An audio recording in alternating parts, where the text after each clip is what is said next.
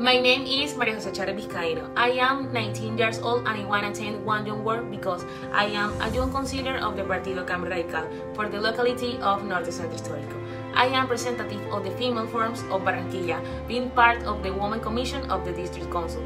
Director of my foundation, Milagros, in which I have impacted 280,000 young people with the social objective of transforming the life of the children and young people, bearing in mind that helping the others becomes a miracle. Student of political science at the Universidad del Norte in fourth semester, winner of the recognition of the multiplier of leadership research at the Institute of Political and Institutional Development of the Caribbean, B2 level of English, and certificate in three diplomas.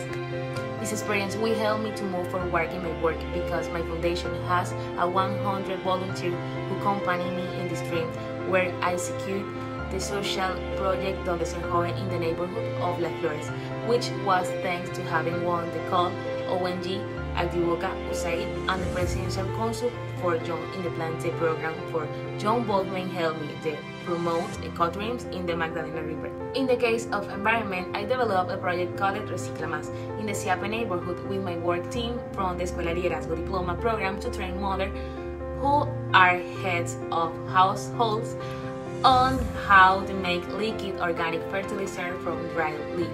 Now, I am waiting on new project for the month November in alliance with Inexmoda called Connector, generating a significant impact on the life of young people in the Barrio Abajo and Barrio Bento neighborhood through artistic skill, reducing violence, and complete with art. This experience would be a positive before and after the work and the passion I have for this. I am convinced that I am ideal candidate for a scholarship because I am dream of seeing the world in need and transforming social in peace for young people as I have done for Barranquilla and now I alone to do it from Belfast. And you, you men, what are you waiting for to be a great leader? I remind you, you already are.